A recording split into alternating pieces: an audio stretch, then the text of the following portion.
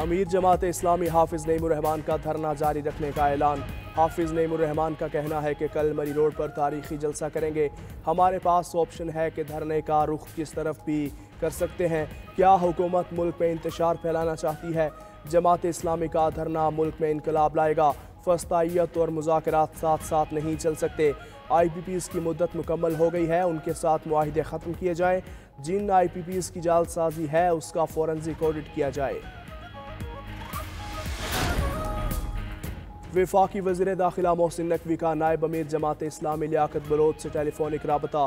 धरना मुतालबात के हवाले से बातचीत की गई। मोहसिन नकवी ने कहा कि हुकूमत संजीदगी से मुजाकर करना चाहती है। लियाकत बलोच ने मुतालबा किया कि बिजली बिल्स में स्लैब रेट ख़त्म किए जाएँ। आई पी पीज़ के साथ कैपेसिटी पेमेंट और डॉलर में अदायगी का माहिदा ख़त्म किया जाए। गरीब तनख्वाहदार तबके पर टैक्सेस का ालिमाना बोझ और पेट्रोलियम मसनूआत की कीमतों में हालिया इजाफा वापस लिया जाए। पेट्रोलियम डेवलपमेंट लेवी भी ख़त्म की जाए।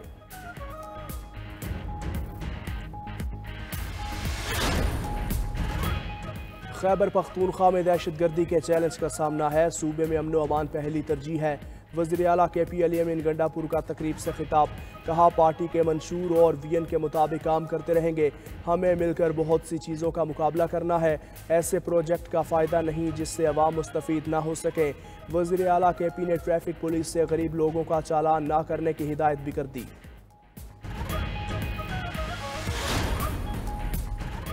मुशीर इतलात खैबर पख्तूनख्वा बैरिस्टर सैफ ने एक बार फिर नून लीग और विफाकी हुकूमत को निशाने पर रख लिया। बोले, जाली फॉर्म सैंतालीस और मैंडेट चोरों के पास अवामी मफाद का कोई मनसूबा नहीं। साजिशी टोला पी टी आई की बढ़ती हुई मकबूलियत से खौफजदा है। अज़म इसकाम के बारे में गलत बयानी करने वाले मैंडेट चोर अतात तारट गुमराह कन बयान देते हैं। नून लीग की जाली हुकूमत अवाम और सिक्योरिटी इदारों में गलत फहमियाँ पैदा करने की कोशिशें कर रही है। ये नून लीग की जाली हुकूमत बचाने की नाकाम कोशिश है। बिजली आती नहीं, सिर्फ़ भारी भरकम बिल आते हैं। एम के एम रहनुमा मुस्तफ़ा कमाल की हुकूमत पर तनकीद। एहतसाब अदालत पेशी के बाद बोले, बेरोज़गारी उरूज पर है, नौजवान मायूस हैं। इनको दुरुस्त समत ना दी तो ख़तरा बन सकते हैं। मुस्तफ़ा कमाल ने हुकूमती तरजीहत को भी नाकिस करार दे दिया।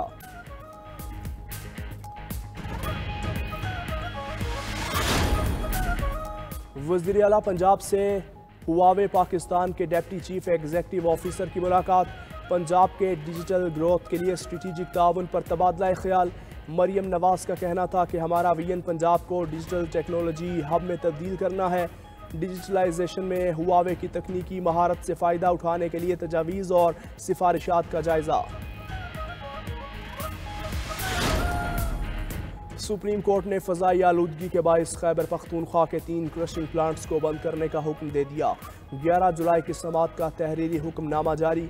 लिखा कि दुनिया में हर नौ में से एक मौत फ़जाई आलूदगी की वजह से होती है। माहौलियाती आलूदगी से इंसानों के साथ जानवरों और दरख्तों को भी खतरात लाक हैं। अदालत में पेश रिपोर्ट के मुताबिक के पी में तीन स्टोन क्रैशर संगीन माहौलियाती आलूदगी फैलाने का सबब बन रहे हैं। इन क्रशिंग प्लांट्स को फौरी बंद करवाया जाए।